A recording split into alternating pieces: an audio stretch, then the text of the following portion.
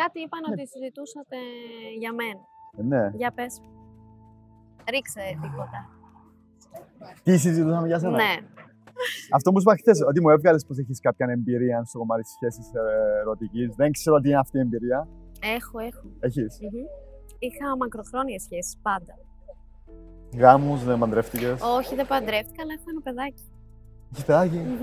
Είμαι Όχι, ρε. μαμά. Ναι. Αλήθεια. Μικρό, μεγάλο. Ναι, είναι ενός. Ενός έτους. χρονού; Μμμ. Ω, να σου ζήσει. Ευχαριστώ πάρα πολύ. Τώρα που είναι; Είναι με τους γονείς μου, την προσέχουν εκεί πέρα. Καλά, μπορεί, αν μείνεις στο παιχνίδι για μήνες, Ναι. μπορεί μακριά σου; Ναι. Ναι. Μμμ. Είναι μικρή ακόμα, γι' αυτό επέλεξα να έρθω τώρα, κατάλαβες. Μετά θα με έχει πιο πολύ ανάγκη.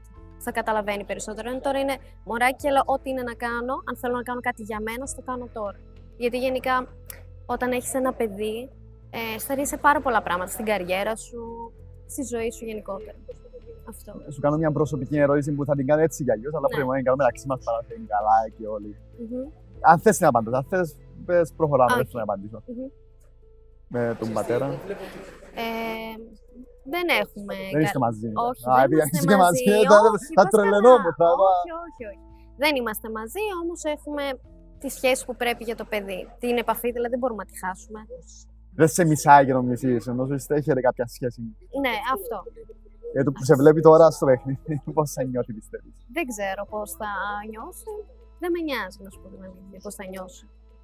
Δεν με νοιάζει γενικά τι θα πει ο κόσμος. Γιατί εγώ δεν έρχομαι σαν μαμά εδώ πέρα, έρχομαι σαν γυναίκα. Και οι γυναίκες έχουν δικαιώματα στον έρωτα οι ελεύθερες. Κατάλαβες πώς το εννοώ. Δεν είμαι παντρεμένη, ούτε αραβωνιασμένη, ούτε τίποτα. Είμαι υπέρ των δικαιωμάτων των γυναικών. Μμμ. Cool. Ξέρω. Είμαι υπέρ, είμαι ο, ο μαχητής σας για τα Ναι, δικαιώματά σας. γιατί